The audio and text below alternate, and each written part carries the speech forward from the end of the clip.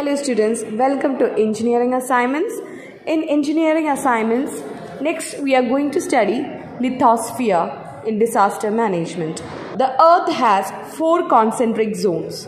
The innermost zone is called as inner core and consists of solid mass of iron and has a radius of about 1216 kilometers. Covering the inner core is the outer core. This is a layer of molten liquid containing nickel and iron.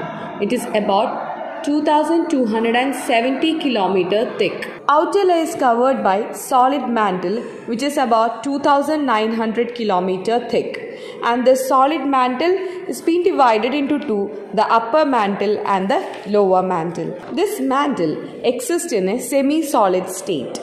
Where we stand is actually the crust and the mantle exists in a semi solid state. The outer hardened exterior zone is known as crust. The crust varies in thickness from 5 km to 50 km. Crust is the topmost layer of the earth and is being divided into two that is oceanic crust and continental crust. Oceanic crust consists of oceans and deep valley below the ocean floor while continental crust consists of mountain ranges and huge plains. Both this crust and mantle are hard and brittle and this is lithosphere. So lithosphere is the outer layer of the earth that includes the crust and the solid part of the mantle. Lithosphere interacts with the atmosphere, hydrosphere and biosphere forming pedosphere.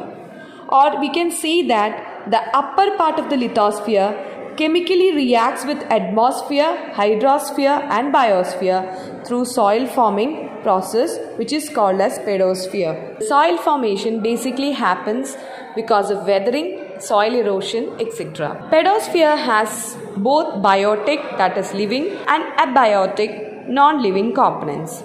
Now the types of lithosphere. Lithosphere is divided into two. One is oceanic lithosphere, second one is continental lithosphere.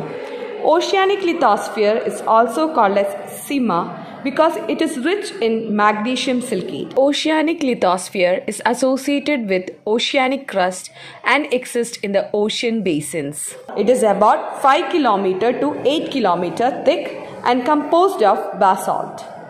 Thicker but denser than the continental lithosphere and has high density. Basically, igneous rocks are found at the oceanic lithosphere. Next is continental lithosphere. Continental lithosphere, we call it as SIAL because it consists of aluminium silicate. It is about 30 to 40 kilometer thick and associated with the continental crust.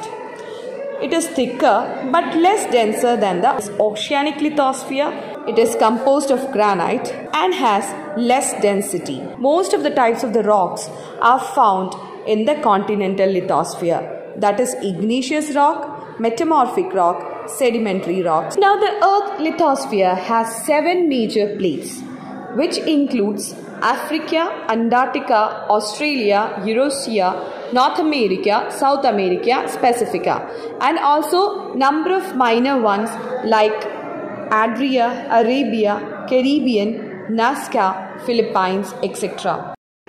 These plates are composed of oceanic and continental lithosphere. They move independently over the mantle relative to one another below the outer rigid lithosphere. This area is known as asthenosphere which is about 100 km to 200 km thick and they move with that restricted independence from the seven larger plates. Mantle has high density and it is basically liquid in form. So the crust which is in solid form and it has lower density so it floats over the mantle. Therefore, the plates periodically reorganize themselves with new plate boundaries being formed while certain other closing up. In addition to these movements, the plate also change in shape. There is three types of motions. One is they are moving apart, they are creating divergent boundaries, gliding horizontally along each other, thereby creating wrench and transform boundaries. Next, moving towards one another and creating convergent boundaries. So, due to the plate movement, we have three types of boundary arising that is sliding towards each other we have subduction zones sliding away we have ridge axis and sliding along transform faults. Next is composition of the lithosphere. Composition of the lithosphere will be dealt in my next video. Thank you students. Thank you for watching my video